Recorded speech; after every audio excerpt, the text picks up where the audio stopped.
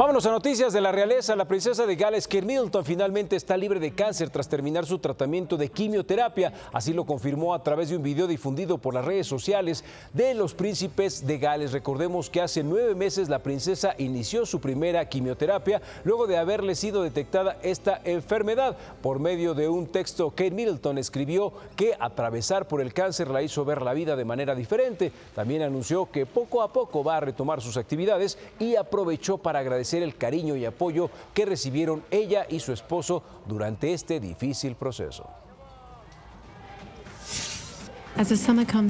Ahora que el verano llega a su fin, no puedo expresarles el alivio que es haber completado finalmente mi tratamiento de quimioterapia.